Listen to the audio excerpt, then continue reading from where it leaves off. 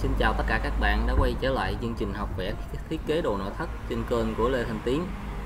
À, Hôm nay à, chúng ta tiếp tục bài học số 6 Đó là chúng ta chuyển sang vẽ thiết kế tủ. Đó, Thì hôm trước là chúng ta đã vẽ thiết kế bàn và cái à, nguyên lý và cái phương pháp để à, à, thiết kế lên cái bàn thì mình đã nói rồi. Bây giờ chúng ta chuyển sang vẽ cái tủ thì mình sẽ nói về cái nguyên lý thiết kế và cái hướng nhìn của để thiết kế lên được một cái tủ mà nó sẽ có nhiều cái tác dụng à, vẽ cái két đó ra nó có nhiều tác dụng để dựng 3D nhất. Rồi bây giờ chúng ta bắt đầu cái bài là vẽ à, cái tủ à, chân thẳng và có hộc kéo. Đó thì bây giờ chúng ta xem cái tủ này á, bên ngoài nhìn vào á, thì chúng ta thấy cái mặt trước của cái tủ là nó có nhiều chi tiết nhất và nó sẽ à, có à, các cái kích thước mà quan trọng của cái tủ rồi ở trên nóc tủ trên nhìn xuống à, thì chúng ta thấy là nó có cái khung viền gỗ. À, hai cái khung hông thì nó sẽ thấy cái đầu gỗ và cái khung trước khung sau là nó sẽ nằm lọt lòng ở bên trong cái hông. Đó. Rồi cái hông tủ thì nó có tấm dáng hông và tấm dáng hông đó nó không bằng mặt với cây ngang trên và cái nóc tủ. Cây ngang dưới của cái hông tủ và cái ngang trên của cái nóc tủ là nó phải à, không bằng mặt để cho nó dễ làm. Rồi cái chân thì nó đang là chân ví dụ như chúng ta cho cái chân này là vuông 45 là chân đặt. 45 là chúng ta sẽ lấy phôi 50 à, phôi 2 in là 52 chúng ta bào xuống còn 45 hoặc là chúng ta ghép hai cây 20 lại với nhau. Thì sau khi chúng ta tinh chế thì nó sẽ còn lại 45 và cái tủ này á, là gỗ sồi gỗ ốc cho nên nó là nó sẽ dùng phôi nhập. Đó là chịu theo thời in chứ không có theo thời mét rồi cái nóc tủ á, thì nó có cái tấm ván nóc này chúng ta cho nó là dày. Ván nóc á, ván nóc tủ nó xài ít trên bề mặt cho nên chúng ta cho nó là ván 12 dán veneer lên là 13 còn cái khung nóc chúng ta cho nó là 20 tức là có nghĩa là chúng ta lấy phôi 25 chúng ta bào xuống tinh chế còn lại 20 rồi những cái cây ngang trước và đứng trước của cái học kéo thì chúng ta cho cái bề cái cái chiều dày mà nhìn thấy á, là 20 còn cái chiều mà không nhìn thấy á, thì chúng ta cho nó sâu vào bên trong là 40 có nghĩa là chúng ta xài cây 24 ở giữa cái nóc thì có một cái cây đỡ nóc để cho cái nóc tủ nó chắc là vì cái nóc tủ chúng ta làm có 12 thôi cho nên nó sẽ dễ bị cong mo và nó bị yếu nó bị thụng cho nên phải có cái cây đỡ cái nóc ở giữa vì nếu chúng ta làm 10 dán 15 dán veneer lên 16 thì nó sẽ à, đội chi phí. Rồi cái hông. Thì cái hông á, thì chúng ta sẽ làm là do cái tủ này là tủ học kéo cho nên chúng ta làm có thể là nếu ta tiết kiệm á, thì dùng cái ván là à, 5 ly dán veneer lên 6 và 4 ly rưỡi khoảng 4 ly rưỡi dán veneer lên là thành thành thành 5 hoặc là 6 còn nếu mà chúng ta à, muốn cho nó dày hơn xíu nữa để cho cái hông tủ nó cứng thì chúng ta xài à, ván MDF 6 dán veneer lên 7 đó. rồi cái tủ này là toàn học kéo cho nên ở dưới đáy tủ không cần tấm dán. Đó, chủ yếu là khung xương xung quanh chỉ có dán hông dán nóc và dán hậu thôi. Còn ván hậu á, thì chúng ta sẽ xài cái ván ép ván ép 5 ly. Có nghĩa là ván ép thì không có veneer. Đó, ván ép 5 ly thì chúng ta nhìn thấy cái vân gỗ là vân của ván ép. Rồi cái mặt học kéo thì cái học kéo này á, là nó gồm có 1 2 3 học dài và hai học ngắn. Thì ba học dài và hai học ngắn này nó có chiều cao học thì bằng nhau.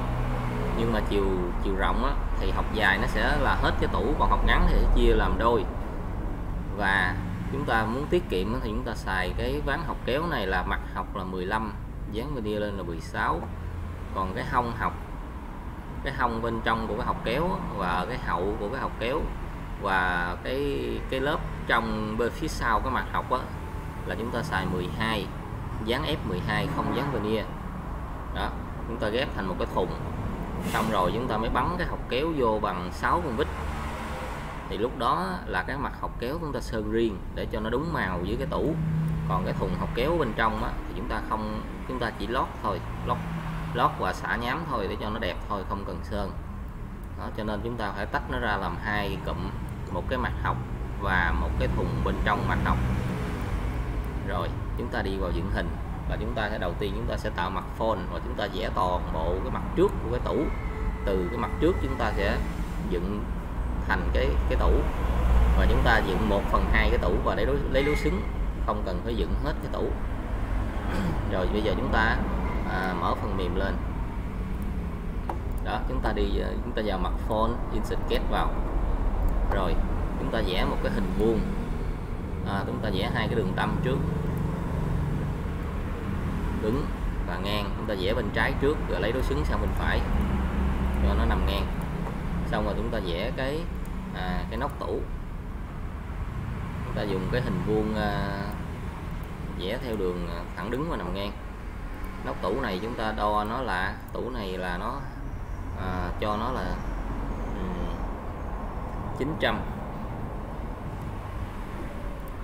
rồi à, độ dày của nóc tủ là 20 đó, chiều cao của cái tủ là chúng ta cho nó là 850 rồi rồi chúng ta cho cái nóc tủ nó đối xứng qua cái tâm tại vì nóc tủ là cao nhất xong mới tới cái chân đối xứng. Rồi chúng ta kéo cái đường tâm lên. Rồi phóng to cái màn hình lên, chúng ta vẽ cái chân. Cái chân nó sẽ đi từ cái nóc tủ xuống và nó nó giật vào bên trong. Thì chân chúng ta cho là 45 rồi cách cái nóc tủ là 20 20 đó. Rồi chúng ta tiếp. Chúng ta vẽ cái cây ngang dưới ba học kéo thì ở dưới có một cây nè. Học kéo thứ hai nhất là học kéo thứ hai học kéo thứ ba. Đó. Rồi cho bốn thanh này bằng nhau. Và chúng ta xem lại cái hình. À, bây giờ chúng ta cho một hai ba cây giữa là bằng nhau. Cây dưới cùng là nó sẽ lớn để nó chịu lực nó cái khung tủ nó mới cứng. Rồi, ở trên nó thì nó có cái nóc. Cho nên là cây cây ngang trên nó nó có thể không cần lớn. Nhưng mà theo cái hình này thì cây ngang trên nó lớn như vậy thì chúng ta cho cái cây ngang trên của cái tủ và cây ngang dưới bằng nhau. Một, hai, ba cây giữa bằng nhau. Rồi, chúng ta bỏ cái ràng buộc bằng nhau cái này đi. Đó. Rồi, bây giờ chúng ta vẽ cây ngang trên là nó sẽ đi từ đây qua bên đây đó. Thì cây ngang trên và ngang dưới cùng bằng nhau. Chọn lại. Bằng nhau. Đó là chúng ta cho nó là 40 là dùng 20 40 nằm đứng. Rồi. Còn cái cây ở giữa chúng ta cho nó là à, 20 40 nằm ngang. 20 rồi. Rồi chia đều. Chúng ta dùng cái phương pháp chia đều chúng ta kéo qua để cho nó đừng có bắt vào mid phone rồi chúng ta à, cắt ở các cái khoảng của cái cái đố. Đó. Rồi chúng ta cho lần lượt cái những cái đoạn này bằng nhau. Bằng. Ở trên này bằng nhau để nó rút lại. Bằng. Rồi. Cho cái khoảng học kéo nó tròn số. Ví dụ 150 đó rồi bây giờ chúng ta cho cái đoạn trên này và cái đoạn dưới cùng bằng nhau luôn.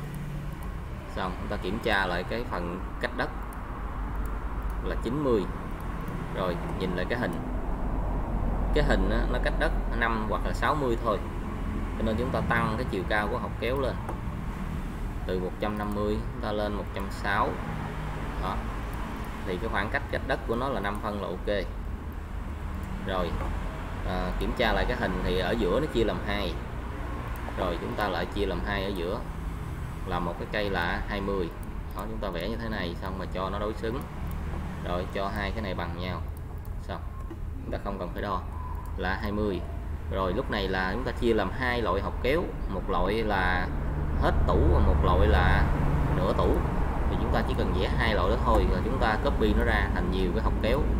Một cái hai cái giờ chúng ta cho số vào. Tất cả các cái mặt học cách cái chân và cái đố là 2 ly. Đó, ở trên cũng vậy 2 mm kéo nó ra để dễ thấy số. Ở đây 2 mm đó. Rồi, có nghĩa là cái cái, có nghĩa là cái chiều cao của mặt học này là 150 154 2 mm rồi, cái học trên là xong, tới học dưới. Ở đây 2 mm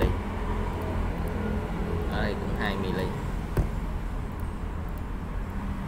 đó. Xong rồi cái bìa này có thể cho trùng ở trên hoặc là đo luôn 2 mm rồi. Còn cái đoạn này thì kéo nó ra cho nó trùng đây. Đó.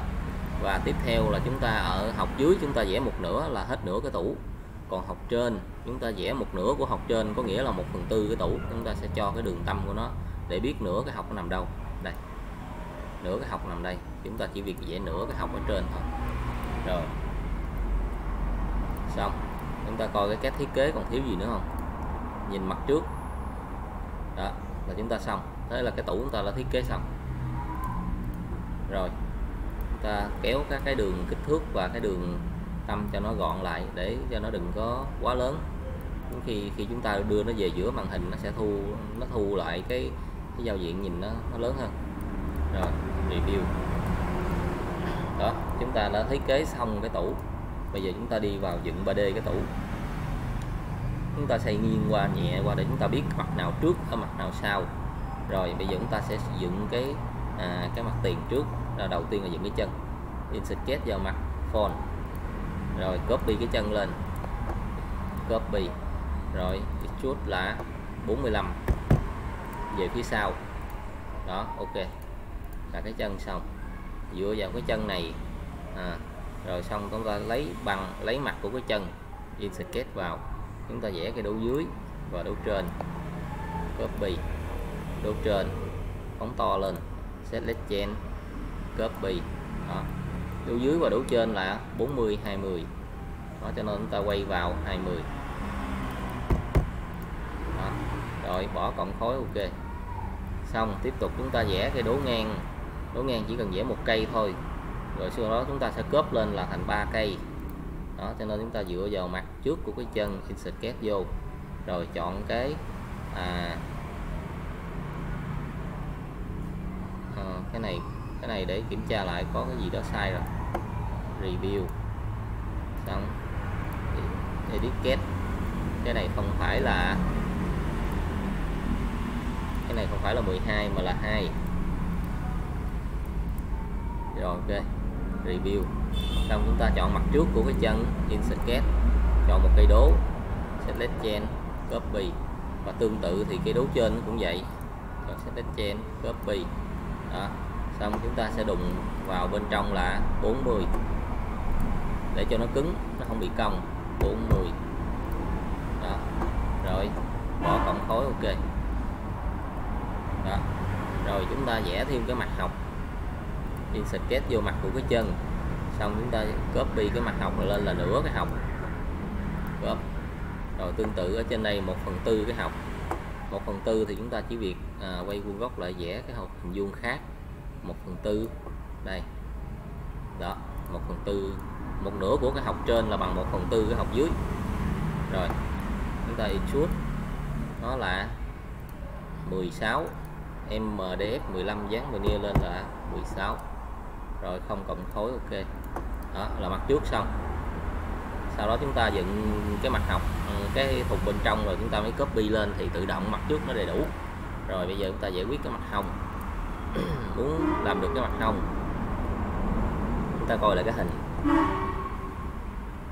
Rồi cái tủ này á, là ở phía sau cái nóc ở phía sau nó sẽ bằng với mặt sau của cái chân sau. Đó cho nên chúng ta dựng được cái chân sau là chúng ta sẽ vẽ được cái nóc tủ. Rồi cái tủ này toàn học kéo chúng ta cho nó là bốn trăm rưỡi thôi. Ok. Rồi chúng ta giờ mặt hông của cái chân in sketch vào. Đó chúng ta vẽ cái chân sau là đây thì cái chân sau là cái phần nhìn thấy là nó bằng nhau, nó bằng với chân trước, bằng nhau và trùng nhau. Rồi ở dưới cũng vậy, ở dưới là trùng nhau. Ta chọn cái chân trước cho nó trùng nhau. Xong, chúng ta chọn cái mặt trước và mặt sau này là bốn trăm rưỡi mà trừ đi cái nóc rú ra hai phân thì nó còn lại là 430 ok, đó thì cái chân sau do là chúng ta không có nhìn thấy hết được cho nên là chúng ta cho nó một mỏng thôi để tiết kiệm thôi thì chút là à, 20 20 đó không cộng khối ở phía trước là 40 vuông 45 vuông. Đó là vì chúng ta thấy hai phía. Còn cái chân sau chúng ta chỉ thấy có một phía này thôi cho nên chúng ta không cần phải cho nó 45 vuông, nó sẽ tốn tốn gỗ. Cho nên chúng ta chỉ vẽ 20 thôi. Và mặt nhìn thấy là 45 sau đó in sketch vào mặt hồng. Rồi, quay vuông góc lại để vẽ cái cây ngang dưới và ngang trên của cái tủ. Ngang dưới, ngang trên. Để nó tạo thành cái khung cho nó mới cứng. Rồi, cho hai cái này bằng nhau.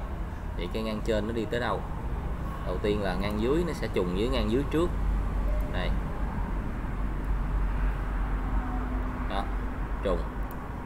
Rồi cái này cũng là 40 cho nên là nó sẽ trùng với cái ngang trước. Xong là cái ngang trên giống nhau. Rồi chút. Đó thì đương nhiên là nó sẽ 20 là nó up chu surface với cái chân sau. Không cộng khối ok. Đó là chúng ta được cái khung. Xong tiếp chúng ta dựng luôn cái à, cái dáng chúng ta vô mặt cửa chân insert cast quay vuông góc lại. Đó.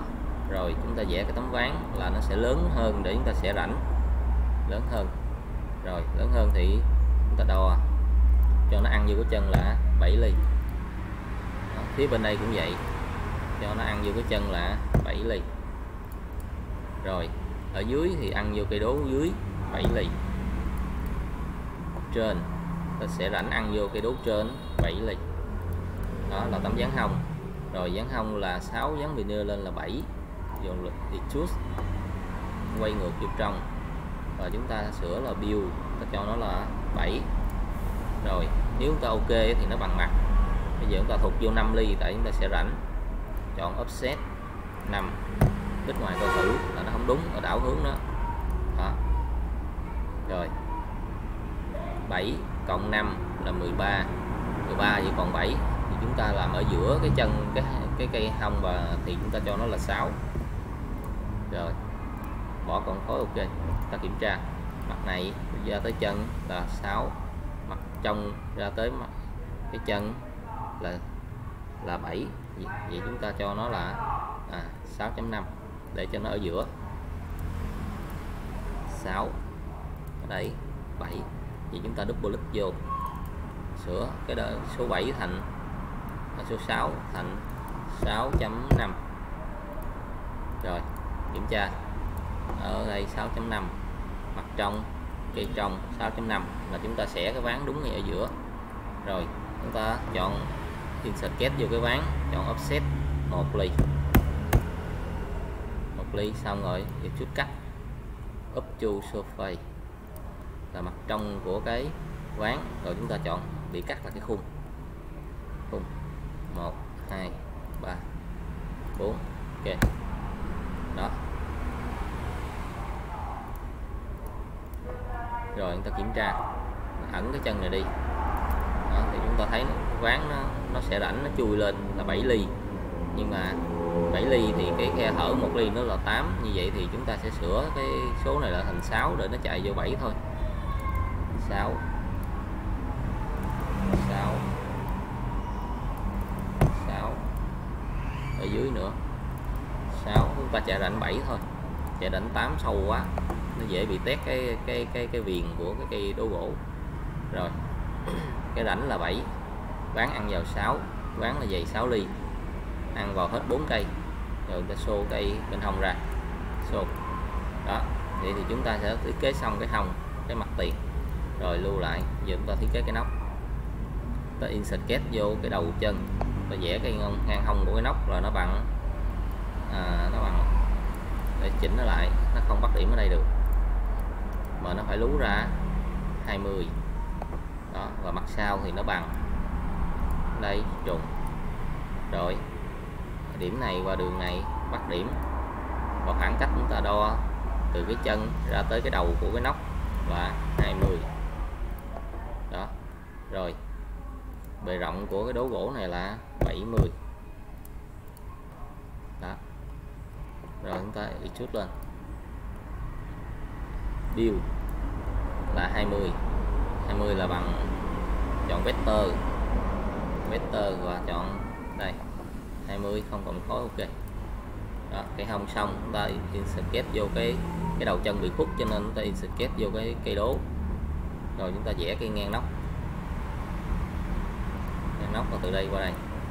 Rồi chúng ta cho nó bắt điểm với cái cây đố trước cho nó nó, nó bằng mặt. Đó.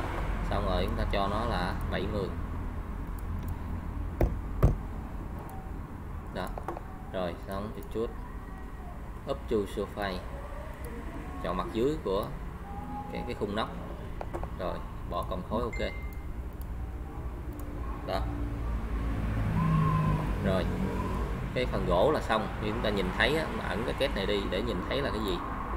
Ẩn cái két đi ẩn cái thiết kế đi. Chúng ta nhìn thấy là nhìn thấy cái đầu gỗ giống như trong cái à, hình chúng ta xem. Đây nhìn thấy cái đầu gỗ. Đó. rồi tiếp. Đó, chúng ta kiểm tra là ở phía trước lú ra 20 bên hông lú ra 20 đó, ván hông thì không bằng mặt cách mép là 6 ly rưỡi. Đó, bên trong cũng cách mép 6 ly rưỡi. À, an toàn không bị tét cây gỗ. Xong chúng ta vẽ cái ván nóc ván nóc là chúng ta sẽ vẽ từ trên xuống nên ta chọn cái cây hông insert kết vào và vẽ cái ván nóc nó cũng chui vào trong cái à, cái trước và cây hông giống như cái ván hông đây đó và bằng mặt sau. Rồi chúng ta cho nó chui vào là à, ở trên nóc chúng ta cho nó chui vào nhiều hơn. Và ta cho nó là à, 9 đó ta cho nó là 9 thì chúng ta chạy đánh 10 cho nó chắc rồi đợi chút là 12 dán MDF 12 dán veneer lên là 13 view chọn 13 xem nó đúng hướng không? Sai đảo hướng lại. Rồi ok. Bỏ con khối ok. Đó. Rồi bây giờ chúng ta hạ ngàm cái à, cái ván này để cho nó chui vào trong cái à, khung à, khung nóc. Bây giờ chúng ta hạ ngàm nó. Ờ, ta chọn mặt trên của cái ván. Đó, và chúng ta vẽ một cái hình vuông ở đây. Ra tới đây. Đó, và chúng ta offset cái hình vuông này ra. Set lên trên offset ra bao nhiêu cũng được. Miễn lớn hơn cái tấm ván là được. Ok, xong thì chút cắt. 5 ly. 5 rồi, chọn cái cắt là cái tấm dáng. Ok. Đó thì bây giờ nó mới có cái dáng mộng mộng của cái tấm ván 5 và cái mộng là 8 đó, cách mép chừa lại là 5 8 5 ly thì khi chúng ta cảo cái à, cái quán nóc này vào trong cái khung nóc đó, nó dễ bị phù. Cho nên chúng ta cho cái rãnh là 6 thôi. Thì cái cái đoạn mà ngàm nó sẽ là 6 à, ờ, ở đây là quán đây là 13 thì chúng ta cho 7 thôi thì cái đoạn ngàm là 6 ta đúc click vô. Cái lệnh cuối cùng chúng ta sửa cái số à, sửa cái số 5 này thành số 6 6 review. Đó. Thì cái phần còn lại của cái tấm dáng là 7 rồi chúng ta chạy rãnh 7 nó giống như chạy rãnh bên hông xài chung một dao. Rồi chọn mặt dưới của cái nóc. Xin kép chọn offset một. Giống như cái hông.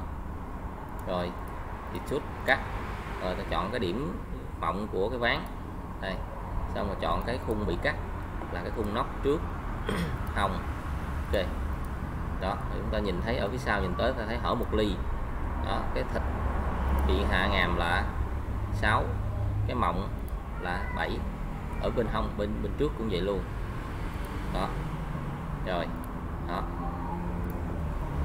Thế là cái nóc xong.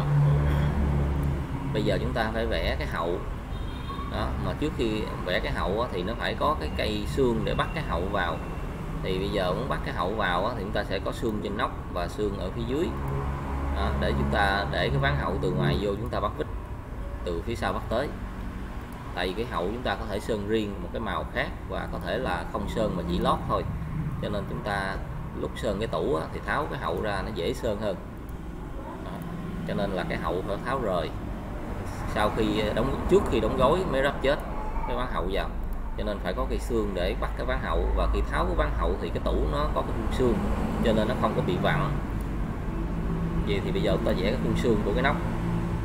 Trước khi vẽ khung xương của cái nóc đó, thì chúng ta phải làm cái bạ nóc để cho nó bằng với cái cây đố ngang của cái hông tủ. Đây ta vẽ cái bạ nóc. Cho một miếng bạ ở đây. Rồi cho nó, miếng bạ này là à, tạm thời cho là 40 đó xong rồi chút up to surface chọn đố hồng. Đó để cho nó bằng mặt. Rồi bỏ cọng khối ok. Đó.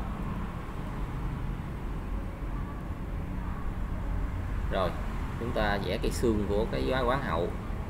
À, chúng ta vẽ cái quán hậu trước vẽ cái xương sau cho nó dễ ván hậu thì nó sẽ lấy mặt sau của cái chân sau insert kết vào tôi quay vuông góc lại.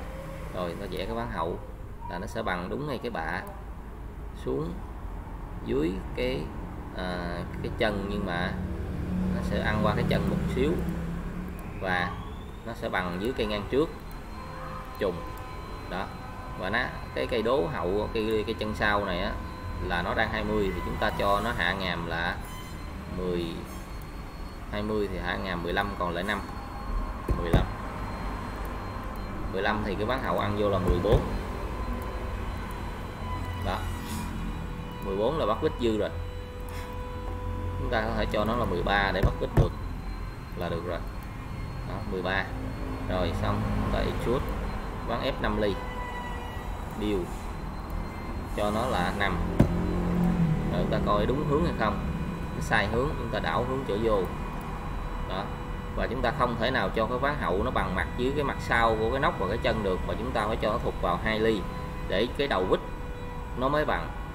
Đó, nếu chúng ta cho cái ván hậu mà nó bằng thì cái đầu vít sẽ lú ra. Khi chúng ta để cái tủ ở sát tường thì nó sẽ cấn, và khi chúng ta như bên hông nhìn qua chúng ta thấy cái đầu vít thì nó không có đẹp.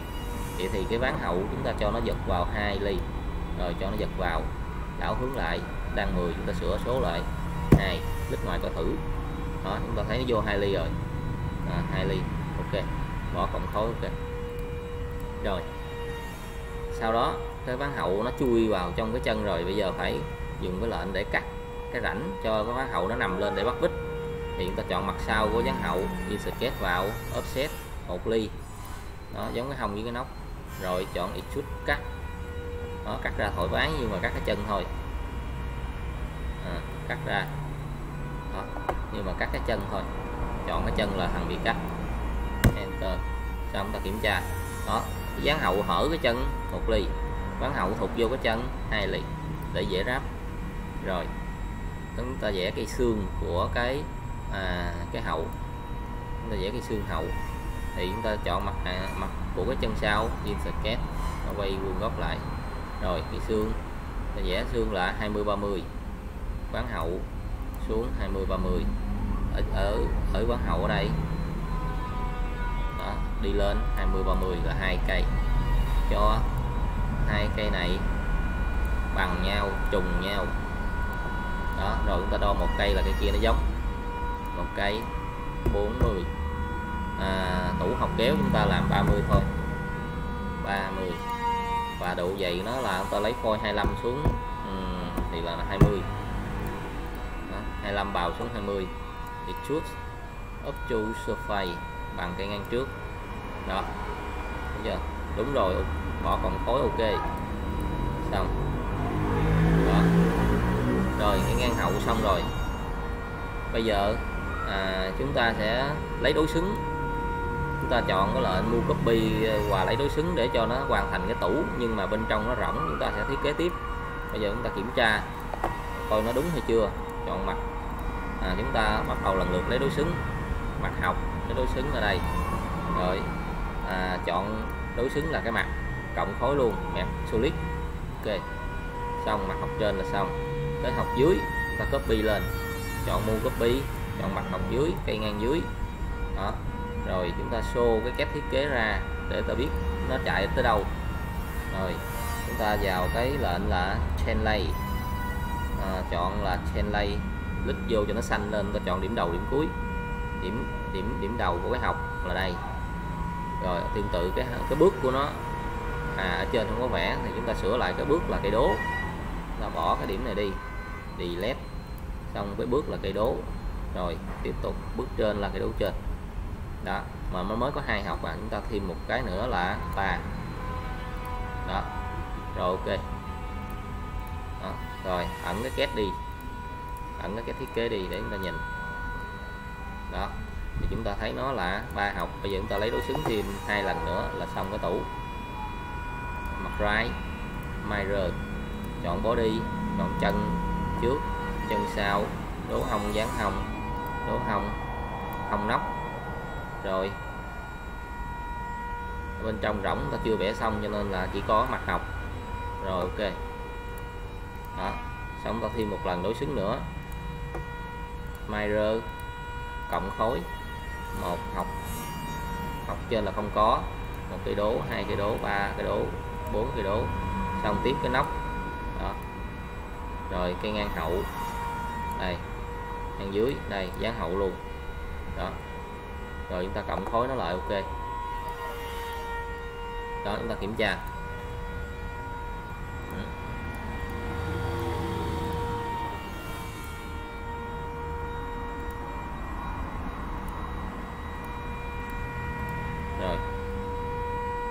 rồi cái ánh sáng của cái à, tủ nó không có đúng. Chúng ta chỉnh cái đèn lại để cho nó sáng ở mặt trước. Ta chỉnh cái đèn lại. Light chọn direction 1 đó. Nó nằm bên hông rồi chúng ta xoay nó. Đó. Cho nó sáng ở mặt trước của cái tủ. Rồi ok. Đó. Thiếu một cây đố. Chúng ta quay lại cái lệnh. Mirror cộng khối. Chọn thêm cây đố nữa ok. Đó rồi giờ chúng ta kiểm tra là mặt trước là xong. Tay nắm thì khi nào có tay nắm chúng ta mới khoan. Đó còn giờ chưa có tay nắm nó khoan trước không có đúng. Rồi chân. Đó nóc. Đó khung nóc. Rồi xong hết chúng ta mới quay lại ốp vật liệu. Hông hậu. Không, nhìn rất là liền lạc. Đây cái bạ thiếu. Mirror edit nó cộng thêm nó ok. Đó đó, ở phía sau cho nên là chúng ta sau khi chúng ta bạ vô thì cái cái bạ này chúng ta dán veneer lên là nó sẽ bị khuất hết. Không có thấy cái lằn ghép mà có thấy cũng không sao. Rồi. Đó. Rồi chúng ta kết thúc cái bài à, 6A ở đây. Thì qua cái bài 6B đó, qua bài 6B thì chúng ta sẽ quay lại làm kết cấu của cái học kéo à, cái hông cái nóc. Rồi chúng ta kéo xuống bốn lệnh đối xứng thì tự động nó sẽ có ở bên trái và bên phải sẽ giống nhau là phải hoàn thành cái tủ đó bây giờ à, cái bài 6B là dành cho những cái bạn mà có à, trả tiền học phí và những bạn có đăng ký. Mình chỉ cho các bạn à, xem hướng dẫn cái bài 6A thôi. Còn 6B là hội viên là người đăng ký thành viên thì mới được xem nha. Rồi cảm ơn tất cả các bạn.